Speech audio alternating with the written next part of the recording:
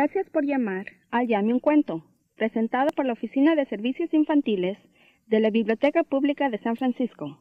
Me llamo Marta y el cuento de hoy es Katy y el regalo de Navidad. El día de Navidad, Katy se despertó muy temprano y saltó de la cama para ir a ver qué había dentro de su calcetín de Navidad. Había un paquete bastante grande y redondo, que llevaba una etiqueta con su nombre. Katy se dijo, ¿qué habrá aquí dentro? Y empezó a desenvolverlo. Pero dentro no había nada, solo quedaba el papel y el cordel. Anda, no hay regalo, protestó Katy.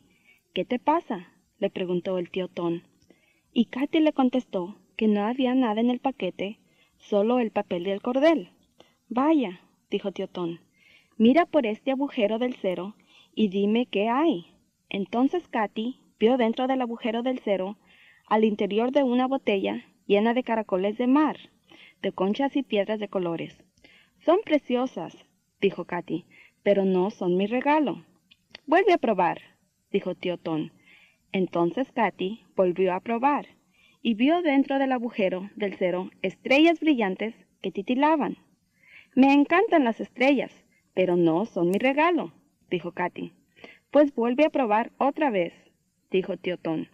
Y Katy miró de nuevo por el agujero del cero y vio el fondo del mar. Me gustan mucho los peces, dijo Katy, pero no son mi regalo. Además me parece que el agujero del cero no sirve para encontrar regalos. Ah, sí. Pues a ver, dime, ¿cómo es tu regalo? dijo tío Ton. Es negro, dijo Katy. Aquí hay algo negro, dijo Ton.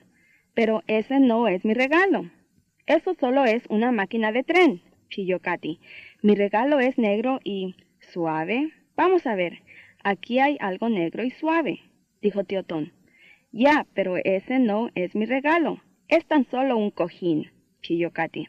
Mi regalo es negro, suave y pequeñito. Aquí tienes algo negro, suave y pequeñito, dijo Teotón. Eso tampoco es mi regalo, solo es un calcetín, dijo Katy, y empezó a llorar, llorar y llorar. Solo otra vez, Katy.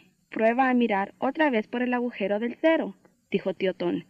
Y esa vez, dentro del agujero del cero había un suéter, y dentro del agujero de la manga, Katy encontró una cosa suave, pequeñita y negra. Era negro, suave y pequeñito, y estaba temblando.